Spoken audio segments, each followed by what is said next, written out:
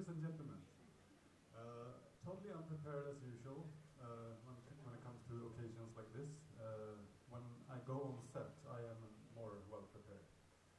So uh, I'm just very happy to be a part of this film and Sunil's project. Uh, I've known Sunil Sunil for about two years now, and uh, I think we met by chance as much as we met by destiny.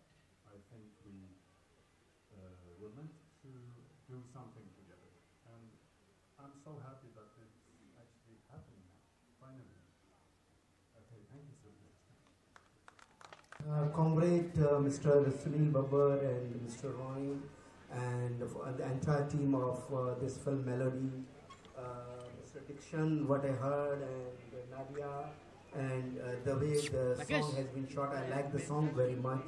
The melody was really good अरे Uh, पीछे हटना रे, with the very बैठना modern यार version and the old kind of uh, Kishore Da, that kind of a combination is very wonderful, very good. So, thank you very much uh, to call me here, and uh, I will just say that my best wishes are with the entire team, and uh, uh, मैं यही चाहूँगा I would like this that uh, you must get the great success of this film and Bharat का नाम Hollywood का में आप और लेकर जाएँ और बढ़ाएँ। बस यही मैं कहना चाहूँगा। Thank you very much